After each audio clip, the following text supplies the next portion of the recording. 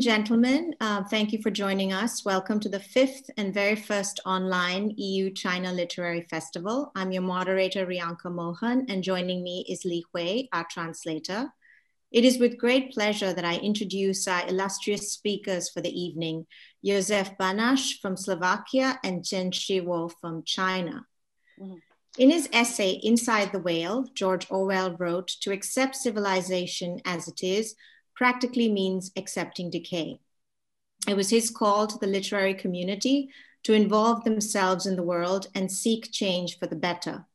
Tonight, we're privileged to be in the virtual presence of our panelists, two writers who have, in their own way, answered his call.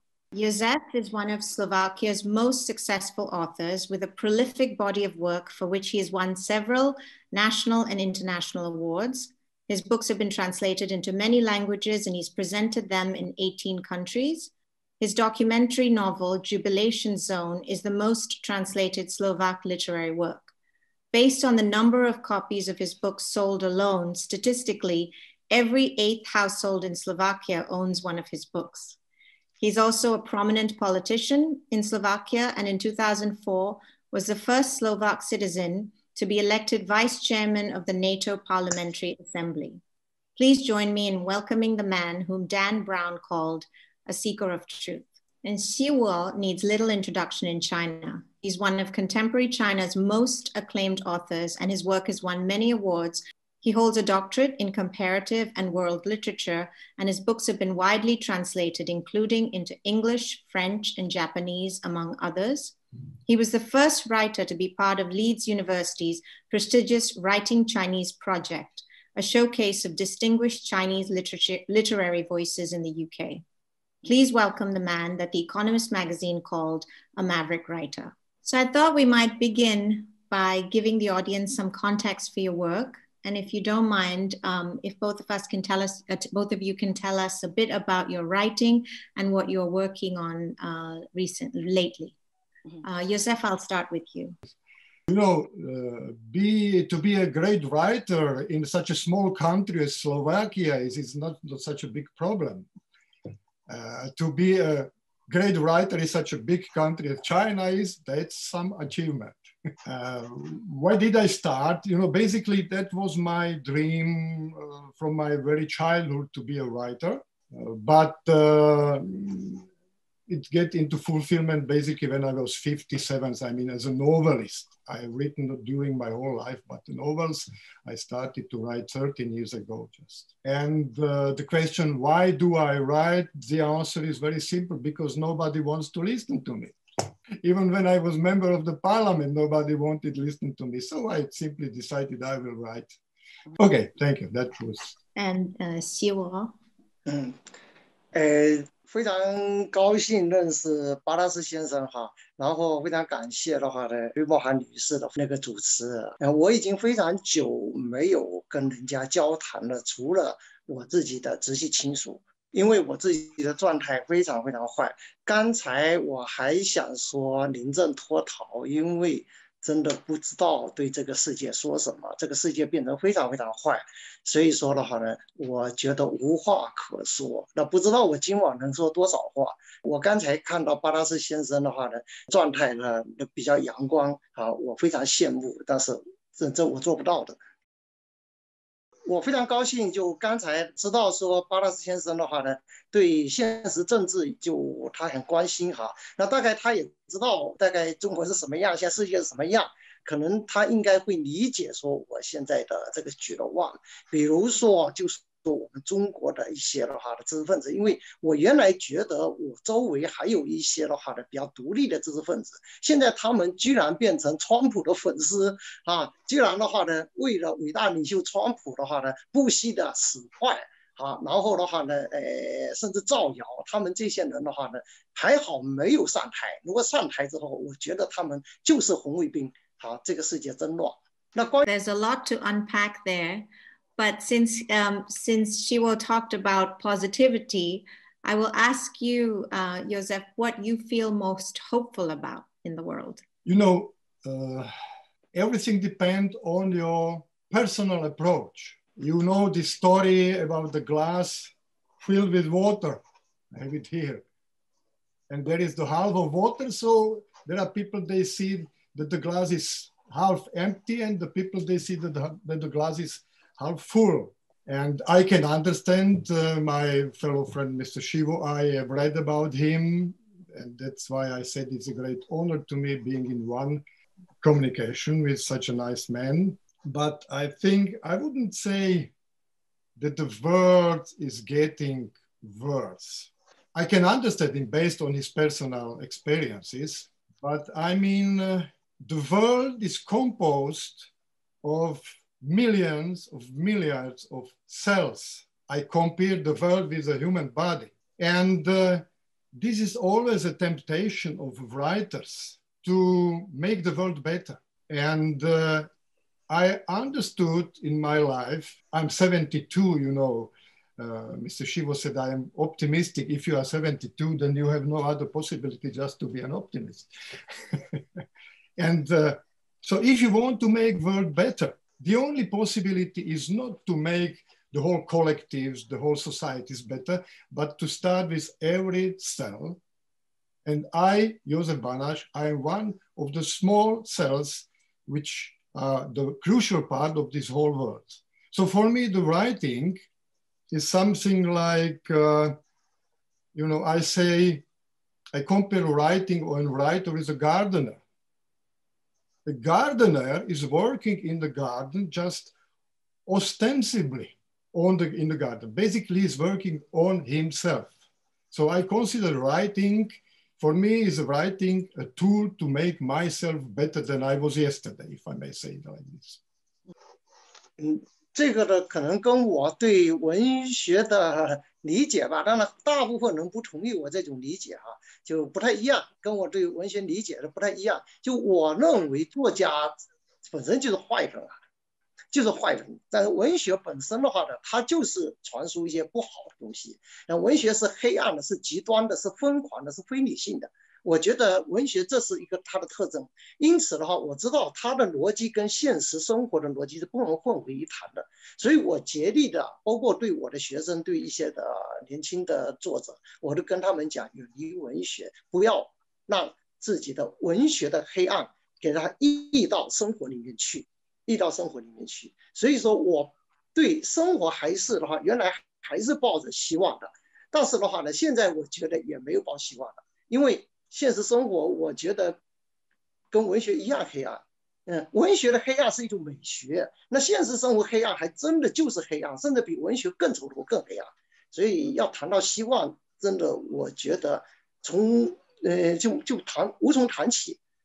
I don't understand this. Excuse me. If we are going to have an intellectual discussion, I'm very happy with that. But I mean, everybody is happy even, you know, I'm invited very often even to prisons. Even the prisoners do read my books. And uh, when we are finishing my meetings with prisoners, they are always surprised that I'm giving them optimism. I'm giving them courage, hope, because for me, you know, most of us, we understand liberty in political sense. But for me, to be free means be free internally I mean, I know people, I know some prisoners even, they are in prison more free than the people they are living outside of prison because we have debts, we are ill, we have, I don't know, political power is controlling our lives. And always in the whole history of mankind, there were some instruments of political power. They oppressed people mm, living in their, their radius, I would say. So the only possibility how to be free is to try to, to attempt to be free in your heart, in your soul, because I don't know no one political system, not even democracy. I can compare political system in, in old communist times is nowadays democracy. And there is no political system which would be absolutely free. So if you want to be free, the only possibility is to be free as Chen Xiwo or Jozef Banáš. It's fantastic to have both of you as juxtaposed to each other in this way. Um, so my next question is, do you think of the audience when you write? And if yes, who is your ideal reader? Um, I can start with uh, Chen Xiwo this time. If... 我几乎没有想过读者，我只写我自己的，因为我有个比喻哈，觉得作者跟读者的关系是情人关系，就是作者对作者来说，我就这么写的，嗯，你喜欢不喜欢随缘分。那如果你觉得我写的好，那你我们就走近，是吧？你呃，那我们就可以交谈，我们就可以谈恋爱。那如果的话呢，你对我的作品没有感觉，那也无所谓，互相不勉强。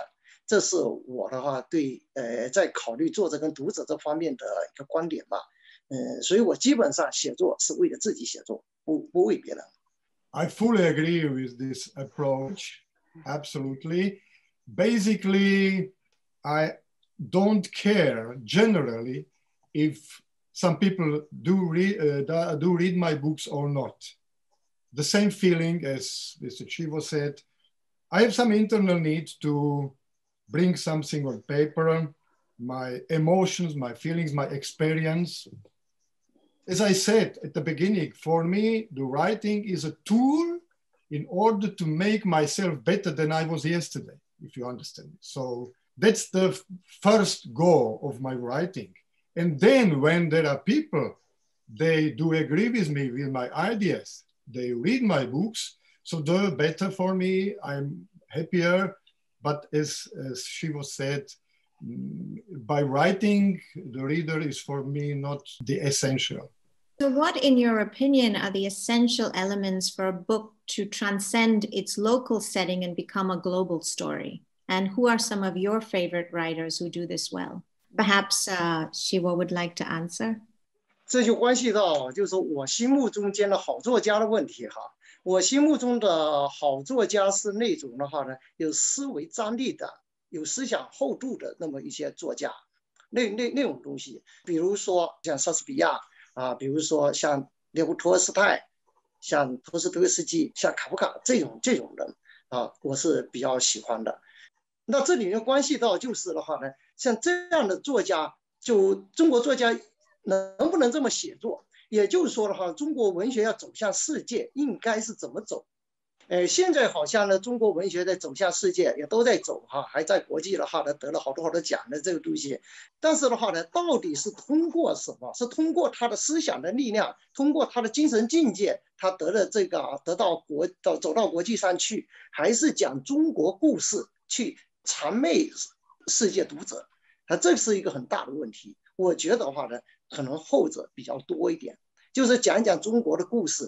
Um, just you know, what what do you think it takes for a book to uh, move from just being a local story to become something more universal? And then, who are some of your favorite writers who do this? Yes. Okay. Thank you. It depends of your topic. So if you write about some general topic which is interested for broader audience, then you have chance to go with your book into the world. That means I have two most topics in my writing as, as far as my novels concern. There are different, different uh, mysterious stories concerning uh, history, like Jesus for Christianity and so on. And then about famous personalities of Slovakia, and I'm attempting to bring them behind the borders of Slovakia. So, you know, we have a problem generally. I can't compare my country with China. I can't compare my country with, with India because everything done in China or India is, India is basically great. So the more we writers of small nations or small cultures have to be mm, have to look for topics for ideas which could approach which could be interesting for for general audience. So let's say and plus try to write about personalities of my nation. They are very motivating for the people. So actually, I would want to ask um, uh, Xiwo about what he said, you know, about Chinese writers telling Chinese stories. Um, does he think this is this is a good thing that this is what the world should hear more of or does he think that uh, Chinese writers should be writing along more universal themes or, or, or looking to, to, to write stories beyond their own experience? 就从小说而言，有的小说是讲故事的，有的小说可以不讲故事。那讲故事的小说呢，不能满足于讲故事，应该在故事之上有一些更重要的东西。 嗯，从这个角度上来说呢，讲故事未必是不好，但问题在不能满足于讲故事。我的意思是这样的，因为这里关系到一个问题，你要通过文学来了解中国什么，通过文学来了解中国文学，这就对了。如果通过文学来了解中国社会，来通过文学来中来了解中国传统的一些民俗，来了解中国当代的一些年轻人的一些生活，这就不对了。哦，Why is that？因为文学就是文学，文学的作品中间最高价值就是文学，而不是的话呢，提供一些类似于社会学的新闻学的一些资料。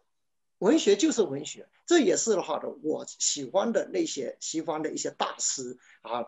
呃的原因，就我在读他们，比如说我读莎士比亚，我读莎士比亚，我读哈姆莱特，我并不是的话呢，一定要去了解当时的一些社会状况，我读的是一个精神性的哈姆莱特。我读托斯托夫斯基，我并不一定说要读当时的俄国的状态，我读的是这么一个的话精神性的托斯托夫斯基，这是文学的东西。Is that same similar for you? Uh, first of all, I have to say I'm not uh, so much familiar with literature theory or with literature as Xiwo is because I know he teaches comparative literature and so on. So I am someone who studied uh, economy. I did different jobs in my life and then, I and then I started to write.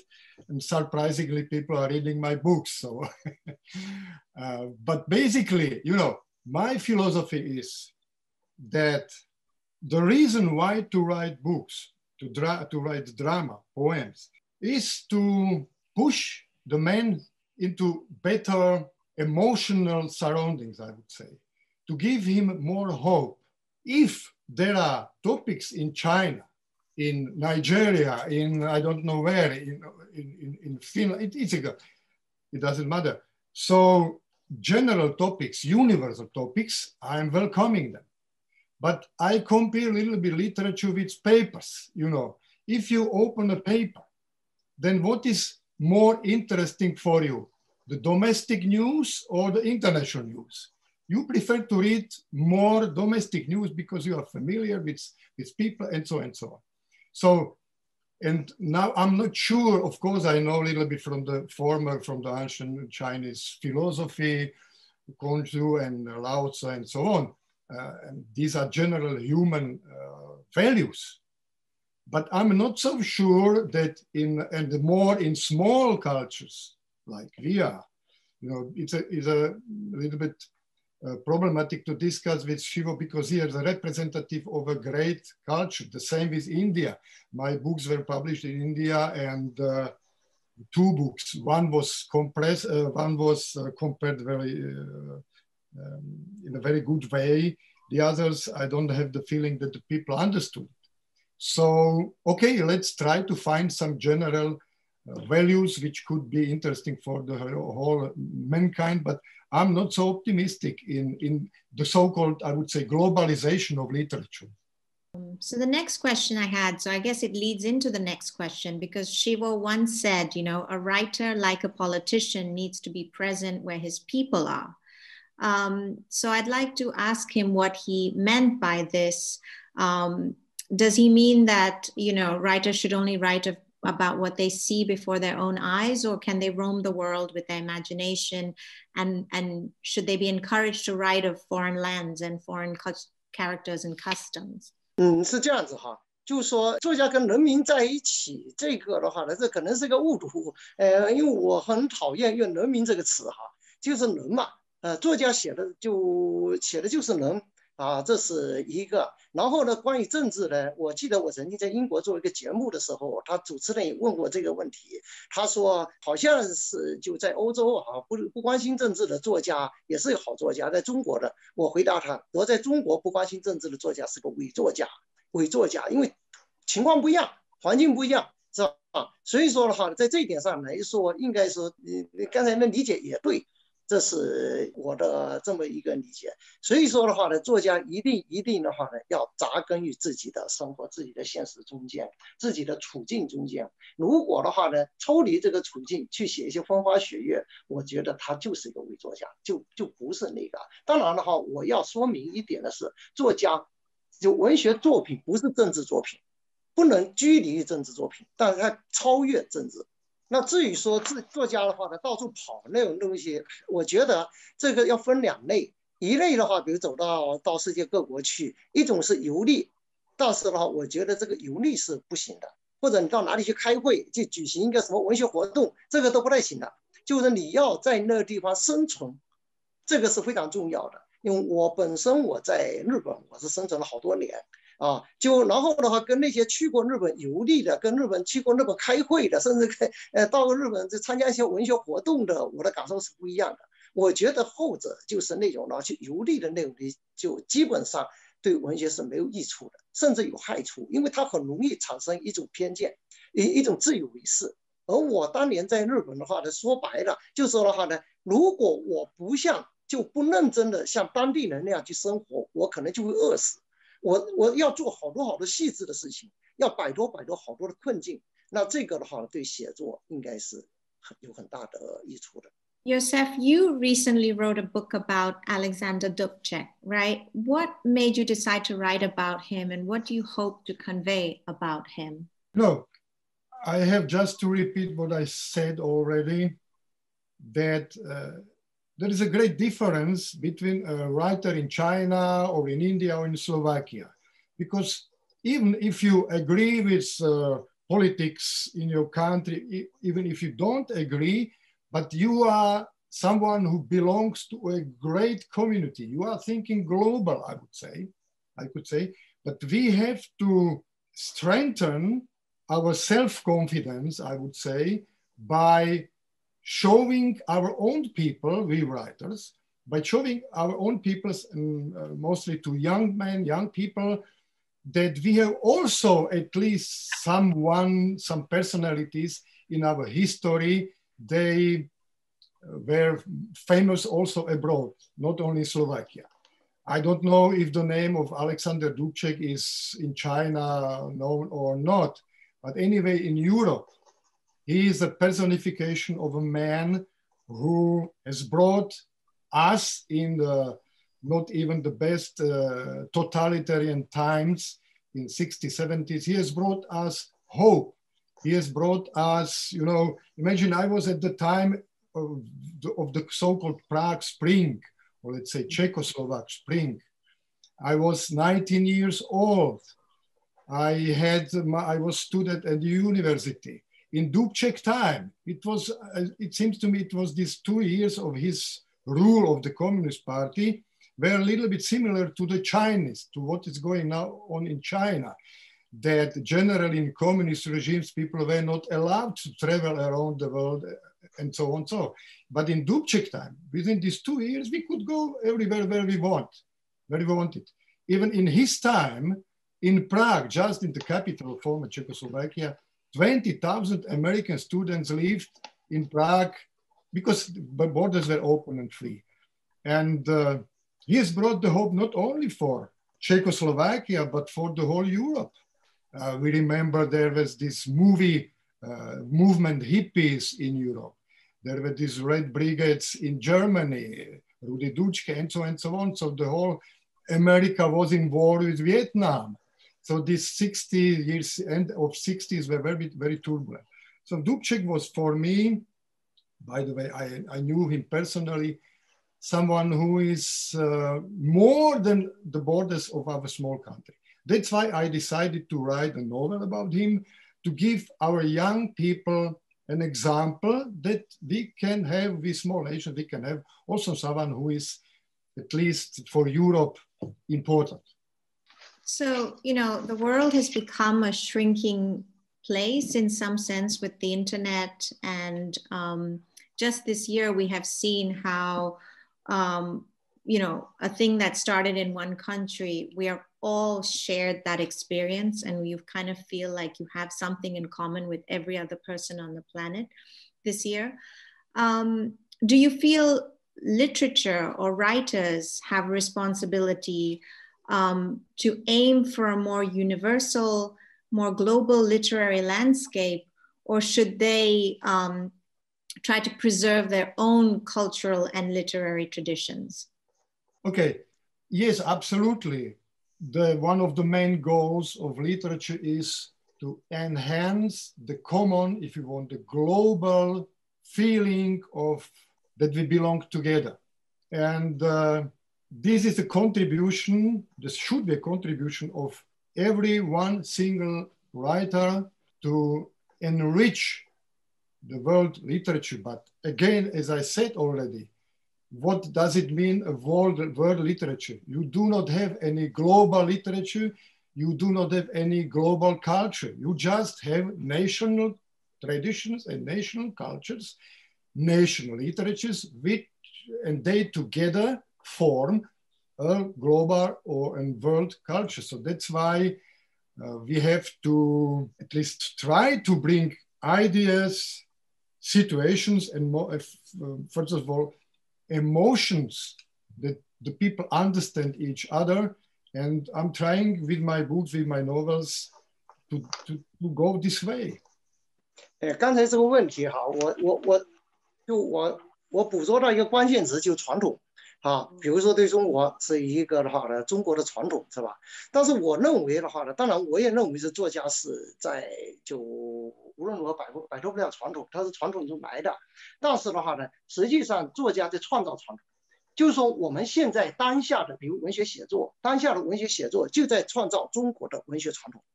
这个的话是我的看法。但是的话呢，很可悲的是，嗯，中国跟斯洛伐克是不太一样的。这怎么讲呢？就就说这个疫情嘛，在疫情期间，我写了一本书，到现在没有出版。什么原因？因为的话呢，不能谈论。我就讲到这个。我再讲一段。那如果要表现这个疫情，中国作家应该怎么办呢？有两个办法。一个办法就是我去写斯洛伐克疫情，我就写欧洲疫情，我就写美国疫情，可能没问题了。这时候的话呢，我就可以写作，这是一个。另外一个，我去写唐代疫情，我去写秦秦朝疫情。明白这意思吗？所以说，为什么说你知道说中国作家往往都逃离到，要么逃离国外去写国外东西，要么就逃离我们传统去写的东西。所以这里面的话呢，就因为是这种状况，谈何说在就这么一个疫情中间的作家的交流、文学的交流，根本不在一个层次上的事情。我非常羡慕斯洛伐克作家能够写。世界上有两种问题，一种是世界问题，一种是中国问题。世界上有两种文学，一种是世界文学，另外一种就中国文学。这个的话呢，是也许你们在不在中国生活没办法讲清楚的事情，所以我只能够讲到这种程度。It's interesting approach because now a very hypothetical question. Could you imagine a very direct question that a Chinese writer would leave China? Go to United States and praise the communist regime in China. You mean in United States, his text would be published? I can mm-hmm. tell just, I can tell just my personal, you know, we are living, as I said, I am 72 years old, so I can compare the life, the possibilities of writing or the freedom of speech in communist time and now in democracy. In communist time, yes, please. Mm. So I don't have mm. experience mm. because in communist time I have written only some uh, TV scenarios for, for children, but not serious novels. But a, a, very concrete example from this year, better to say from last year, as you said, I am one of the most uh, popular writer in Slovakia. And uh, one of my Russian friends invited me to Russia last year to go with him to Crimea, to the, to the so-called occupied by Russians occupied Crimea. I said myself that no one journalist, no one TV team was so far in Crimea. So I decided to go there. I went there for eight days. We have taken a car with Russian, uh, Russian car, and I went wherever I wanted. I came back And I, Jozef Banáš, as I said, one of the most popular writers, I have written an reportage, more a short novel about Crimea, about the truth, how the people they live and how they communicate with, with, uh, with uh, Russians. And I have written that in my understanding, there is no occupation, that the people are indeed really happy that they belong to Russia. I have offered this, my reportage, to mainstream media in Slovakia. One, second, third, fourth, five, fifth, all refused to publish this reportage, this report, all. So we are living in democracy. That's the question of the truth. What Dan Brown said about me, I am someone who is searching for the truth. That's the main goal of, of writers. But if you bring a truth which doesn't stick, which doesn't correspond with the official policy, official politics, you have the same problems as we had in communist time or in democracy. That's my experience. 嗯，这个东西的话呢，是相对而言，就是说肯定，哪怕是美国，比如说他刚才问我一个问题，如果在美国写一个歌颂共产主义的就作品，它能不能出版？呃，现在我不好说，但是的话，在前些年应该的话呢，它是可以的话呢，得以面试的。 但是我我对美国的出版法律我不太懂，应该是可以面试的，至少来说，作家他不会有有就受到一些压力，是这么一种情况。那当然的话呢，我也不是说的话呢，像资本主义国家都是的话呢那么的自由啊，那么自由，这个东西的话呢，我也是有另外的思考的。但是问题在于的话呢，这些都不足以来说明中国的出版现状。中国出版现状的话呢？就只能够说你到中国来写作，你才知道。我只能讲这么多。再讲一段，嗯，我有一本书是茂班书啊，茂班书的话翻译到英文去。实际上我前面还有一本书叫《我爱我妈》，呃，翻译到英英英国去。然后呢，我到英国那边去做图书推广的时候，实际上的话，《我爱我妈》，因为他们都认为你写的是是一个。就是乱伦这种东西，可能是全人类是最忌讳的这么一个一个丑丑丑陋的东西。然后呢，现场的时候就有英国读者站起来反对我，就英国读者站起来反对跟我辩论，然后就说了哈，你这种书要是在英国怎么样怎么样怎么样的那个，那时候的话呢，他是可以跟我争论的，我也可以跟他回答的。但是的话呢，如果我这本我就就我这个书在中国，就这本小说在中国。当时发表的时候，差一点把杂志社给它分掉了，主编差一点搞没了，这就是程度。I please do understand me correctly. I don't protect neither communist regime, neither democracy. I protect the truth. That's for me the crucial, you know. And I mentioned this my example with Crimea as a, a good example because, of course, I agree with Xiwo. My books are published in Slovakia but in the mainstream media, Jozef Banáš is something taboo. Even it happened in democratic Slovakia to me that I, it was forbidden to have my meetings with in some cities because the mayor of the city said, no, Banáš, he doesn't have, he, he, I, he's not welcomed in my city, you know?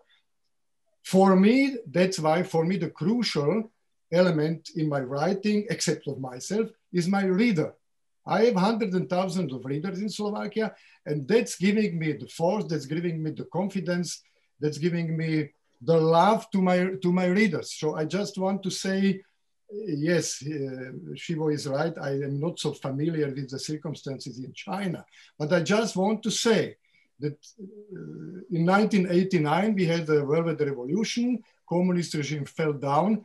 We were full of hopes, and we have to we have to state that 30 years after the fall of the, of the communism, our expectations, our hopes were not fulfilled. You know, in the times of communism, we were ordered, we were commanded by Moscow, and now we are commanded by Brussels. Of course, objectively, I have to say, we can't compare the totalitarian regime with a democratic regime. So even being in communist time, I couldn't say words as, as I'm telling you now in free and no without fear that someone will, someone will come and, and stop me to speak my thoughts. So if I would uh, have just two possibilities to live in democracy or till to live in communist uh, system, I would for sure decide for democracy. That's without doubt. just I want to say, not even democracy is the most optimal political system which gives us freedom, total freedom for speech. Um, so we're almost out of time. Um, I would just end, like to end by asking both writers, how would you like to be remembered? 我希望是没有用的，希望的东西很多，最后都会失望。所以说的话呢，我希望我如果能够希望的话，希望大家把我忘掉。The same I wanted to say, you my sympathies. I don't care if I will be remembered or not. That's not my problem. So I thank both um, Joseph Banias and um, Banáš and uh, Chen Xiwo for a very lively and interesting discussion today. Um, you both started by agreeing to disagree and ended by agreeing. Um, but I think, you know, just from our conversation today, neither of you is likely to be forgotten. Um, so thank you for, for your time.